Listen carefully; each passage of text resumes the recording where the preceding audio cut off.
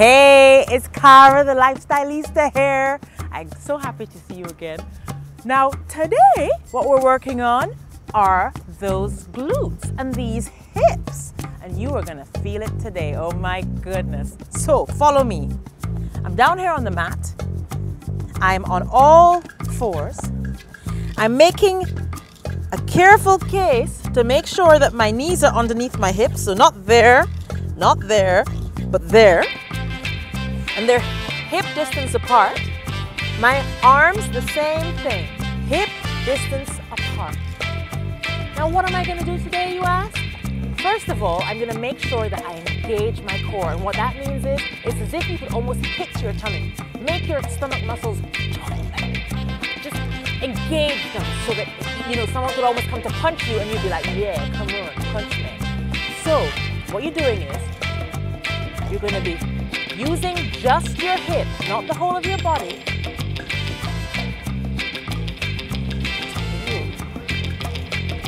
Two, three, four, five. Now, it's really important with your form that you're not arching your back like a cat or sagging your back like, oh, a poor mouse. No.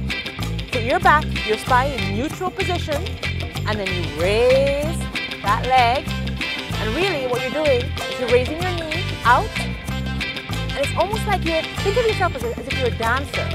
You're raising it out and as if to the other side of the room. So up and out, up and out, up and out. And then you do the same thing on the other side. I move my sound stuff.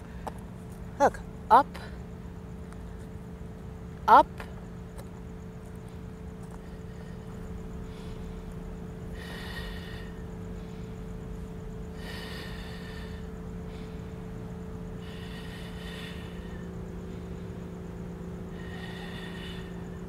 And don't go too fast. Take your time.